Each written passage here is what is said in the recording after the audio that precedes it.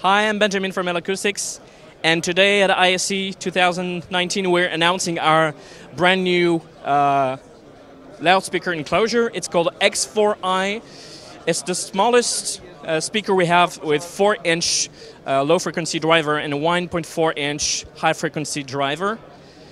It's very small. It's less than 12 centimeters of height and width, and it's less than 10 centimeters depth. So it's really appropriate for integration, front fills, and you can even have it integrated directly into the wall and it will work perfectly.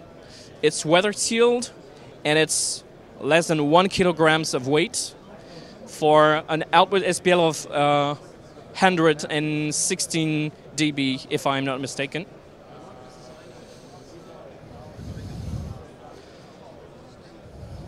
If you need to know more, just visit our website, lacoustics.com.